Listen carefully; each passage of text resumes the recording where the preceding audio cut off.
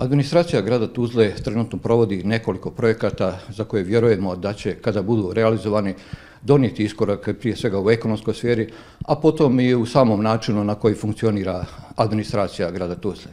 O ovim projektima, njihovom značaju i onome kako će se oni odvijeti i kako će se realizovati, razgovarat ćemo danas sa gradonačelnikom grada Tuzle, gospodinom Zijadom Lugavićem, kojim želim dobrodošlicu u naš magazin BHT1 uživo. Hvala lijepo, dobar dan vama i svim vašim gledalcima. Predlažem da počnemo od, e, mislim, veoma bitnog momenta. Gradsko vijeće e, Tuzle je na sjednici krajem prošlog mjeseca donijelo, usvojilo odluku o formiranju razvojne agencije TRAG. Ona bi trebala početi raditi početkom naredne godine sa kojim ciljem, sa kojim timom ljudi i koji fokus će biti ove razvojne agencije. E, dakle, Tuzlanska razvojna agencija je neophodna gradu Tuzla za dalji ekonomski, društveni, kulturni i svaki drugi razvoj. E, jedna ovakva e, razvojna agencija je potrebna kako bismo mogli privući još veći broj investitora, još veći broj financijskih sredstava iz raznih fondova. Da li su to fondovi preko granične saradnje Evropske unije, međunarodnih organizacija, viših nivoa vlasti. Dakle, njihov fokus će biti da prati sve javne pozive, da radi aplikacije uz podršku stručnih lica iz gradske uprave i na takav način da naš budžet obogačujemo novim sredstvima iz drugih izvora i da realizujemo projekte koji su bitni za dalji, brži i kvalitetniji razvoj grada Tuzla, sve u cilju stvaranja boljeg ambijenta za poslovanje, boljeg i kvalitetnijeg okruženja za život, za rad, za školovanje i sve ono što čini život jednog čovjeka, jednog privrednog subjekta. U tom kontekstu e, će razvojna agencija dakle, raditi na e, izradi aplikacija prema novim izvorima finansiranja. Također će na komercijalnoj bazi biti partner i privatnom sektoru, da li u smislu da ukoliko neko preduzeće izradi aplikaciju, recimo prema sredstvima Evropske unije, pa želi da razvojna agencija provjeri da li je ta aplikacija sačinjena u skladu sa propozicijama, dakle radit će tu vrstu kontrole ili će radit čitavu aplikaciju na komercijalnoj bazi za privatna preduzeća kako bi privatni sektor mogao da ima benefite od naše razvojne agencije. Također će se baviti prikupljanjem svih podataka na nivou Bosne i Hercegovine koji su vezani za naš grad kako bismo na jednom mjestu imali sve podatke koji su bitni za ekonomsku analizu, za donošenje kvalitetnijih odluka. Radit će na izradi strategija, bit će nosioci izrade strategija dakle budućeg razvoja grada Tuzle. Također će raditi prezentacije svih svih potencijala grada Tuzle i okoline, dakle, e, kako domaćim, tako i ino investitorima, kako bismo privukli još veći broj investitora. Dakle, veliki je posao koji je pred ovom razvojnom agencijom. Budžet e, grada Tuzle za narednu 24. godinu iznosiće oko 82 miliona maraka. To je otprilike na isto nivou na koji, e, koji je bio i ove 23. godine. Je li to dovoljno, optimalno moguće ili ono što jednostavno realno možete očekivati? Trenutno je ovo ono što realno možemo očekivati, da li je optimalno, nije. Dakle, potrebna su daleko veća sredstva da bismo uradili ne sve, ali bar većinu poslova koje je potrebno da uradimo kao jedinice lokalne samouprave. U ovom kontekstu je e, ovaj naš budžet e, realno manji za nekih 11 miliona u odnosu na e, realizaciju ove godine, ali kreditna sredstva koja planiramo da uzmemo iznos od 11 miliona i stotinu hiljada konvertibilnih maraka nas dovode na nivo budžeta ove godine.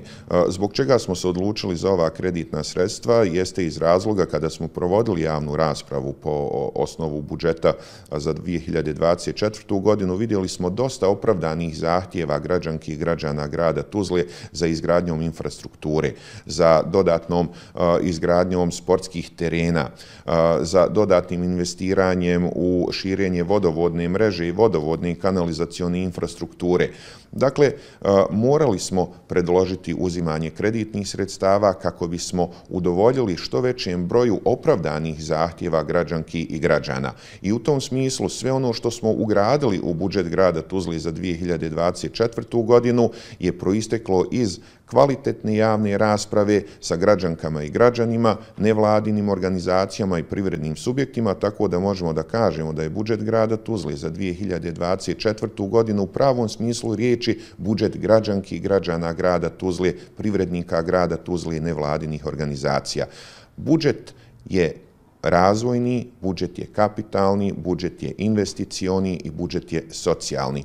U tom kontekstu je samo 47,12% budžeta planirano za komunalnu infrastrukturu. U tom kontekstu ćemo raditi, evo samo jedan podatak, pošto ih dosta ima, 62 putna pravca što je ogroman broj puteva. Radit ćemo dalje e, uličnu rasvjetu na minimalno 17 lokacija e, radit ćemo proširenje vodovodne i kanalizacione mreže. Radit ćemo na izgradnji još jednog kružnog toka, dakle na području našeg grada, to je na Slatini, na našoj sjevernoj saobraćajnici, kako bismo još više ubrzali protok saobraćaja i uticali na takav način na smanjenje aerozagađenja koje dolazi od e, auta. Zatim ćemo raditi i e, pomoćni teren na stadionu Tušanj i pomiranje potpornog zida koji je ustaj e, pomoćni teren kako bismo e, stvorili preduslove za dobijanje licenci za odigravanje utakmica i na pomoćnom dakle, terenu. Rad ćemo veliki broj drugih projekata koji su vezani za mlade, koji su vezani za osobe treće životne dobi, koji su vezani za smanjenje aerozagađenja. Tu smo povećavali sredstva. Povećavali smo sredstva i za socijalne kategorije. Povećavali smo sredstva i za podršku nekim nevladnim organizacijama, pa smo evo koraci NADE, dakle organizaciju koja je veoma značajna, ni samo za grad Tuzlu, nego i za čitavu regiju, gdje dolaze djeca sa poteškoćama u razvoju i gdje dobijaju određeni tretmani i kvalitetno provode vrijeme, koji su ostali bez donatora, uključili smo ih u budžet. Uključili smo akcijoni plan za djecu u budžet. Povećali smo sredstva Crvenom križu grada Tuzle za dva projekta. Jedan projekat je njega u kući, gdje smo još dodatna sredstva ovaj, obezbijedili za finansiranje tog projekta i drugi je novi projekat, a to je nabavka naruknica, dakle GPS naruknica za dementne osobe, kako bismo mogli da znamo gdje su te osobe ako bi one otišle od svoga doma, od svoje kuće, pa da im možemo naći utrag da ne bi došlo do nekih neželjenih ili tragičnih dakle, posljedica. Radimo, radimo puno u svim pravcima kako bismo našim građankama i građanima obezbijedili sve one uslove za još bolji i još kvalitetniji život, a i onim koji imaju evo poteškoće u razvoju tako da ćemo raditi na semaforima, recimo taktilne staze i zvučne, zvučne semafore kako bi osobe koje slabo vide ili su slijepe mogle na kvalitetniji način prelaziti raskrsnice, dolaziti iz jednog u drugi dio grada. Kod izgradnje novih dječjih igrališta, recimo i proširenja postojećih, ćemo nastaviti kontinuitet u smislu ugradnje opreme koja je prilagađena djeci sa poteškoćama u razvoju, jer želimo da sva ova igrališta i sve ono što radimo u našem gradu bude inkluzivno.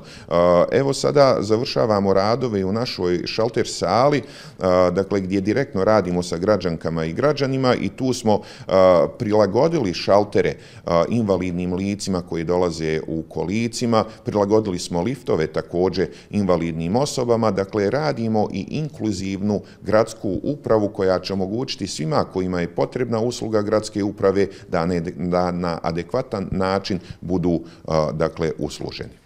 S obzirom da se grad e, Tuzla rijetko odlučivao na ovo kreditno zadrženje, ovih 11 miliona hoće li predstavljati problem za funkcioniranje grada u narednim godinama, a opozicija će sigurno prigovoriti s obzirom da je 24. izborna godina da upravo ovo kreditno zadrženje e, nije u podlozi upravo izborne godine? E, dakle, Ovo nije dakle veliko zaduženje, obzirom da se jedinice lokalne samouprave mogu zadužiti do 10% u odnosu na iznos budžeta. Dakle, sa ovim zaduženjem i dosadašnjim kreditnim sredstvima koja imamo, e, mi ćemo biti zaduženi negdje do 2,5%, dakle, što je sasvim, sasvim malo u odnosu na neke druge koje su daleko zaduženije. E, ja sam siguran da je opozicija vidjela da je moj dosadašnji rad e, bio apsolutno predan građankama i građanima i sve ono što sam radio, moj tim i ja i cjelokupna gradska uprava u ovom periodu, bili smo fokusirani na potrebe i zahtjeve naših građanki i građana. I uvijek smo fokusirani na njih kao i privrednika i nevladnih organizacija, obzirom da je uzimanje kredita, odnosno prijedlog za podizanje kredita proisteklo iz javne rasprave, ja sam e, siguran da će e, svi vječnici ili bar većina njih u gradskom e, vijeću imati razumijevanja za potrebu kreditnog zaduženja kako bismo gradili infrastrukturu, kako bismo stvarali bolje preduslove za kvalitetniji život građana, ali i za dalji ekonomski, društveni, kulturni i svaki drugi razvoj. Zamolit ću vas da nam pojasnite u vašu posljednju odluku, je ona doneta isto juče, prekriče, e, kaže, strateške smjernice za komunikacijske aktivnosti grada Tuzle. Šta ona podrazumijeva? Kakvu tu administraciju gradsku vi želite? E, šta treba da radi taj zaposleni gradske administracije na tom šalteru? E, svjedoci smo da su i međunarodne organizacije i građani generalno, dakle, kada se tiče svih opština u Bosni i Hercegovini, E, često s opravdanjem kritikovali dakle, funkcioniranje gradskih administracija, opštinskih administracija zbog te sporosti u, u realizaciji od e, onih elementarnih zahtjeva za, ne znam, za izdavanje ličnih dokumenta preko ostalih stvari. Transparentna, odgovorna, otvorena, efikasna i efektivna administracija. To je najkraći odgovor. E, naš rad mora da bude fokusiran, kao što sam malo prije rekao, na naše građanke i građane. Mi smo uslužna djelatnost na usluzi našim građankama i građanima koja e, mora da rješava sve njihove zahtjeve u skladu sa e, zakonskim propisima i podzakonskim e, aktima. Dakle, mi kada budemo uzeli, a siguran sam da ćemo naprijediti naš rad prema strankama u budućem periodu i dići kvalitet naše usluge na još jedan veći nivo, a ove smjernice su jedan korak ka dostizanju tog cilja. Dakle, imat ćemo zadovoljnije građane, imat ćemo građanke i građane koji će vraćati povjerenje u javnu upravu, a što nam je svima potrebno. Dakle, imat ćemo efikasnu javnu upravu. Međutim, ovo je samo... Kad kažete efikasno, na koji način građanin može očekivati koliko brzo da dobije dakle, ta dokumenta potrebna koja, u kojem vremenu? Najmanje u zakonom propisanom vremenu.